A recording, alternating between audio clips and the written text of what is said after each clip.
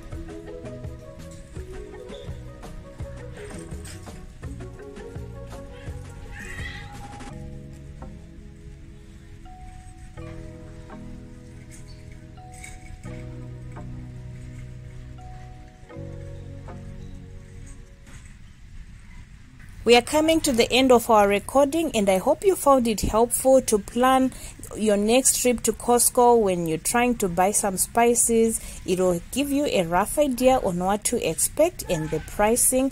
I know it might differ by store, but for the most part, you'll see most of these spices in your local Costco as well, with just a few differences. Leave me a food emoji in the comment section below so that I know you watched till the end of the recording. Thank you so much, guys. I love you. I'll be seeing you again in the next one. Don't forget to press that like button and subscribe if you haven't already. Bye.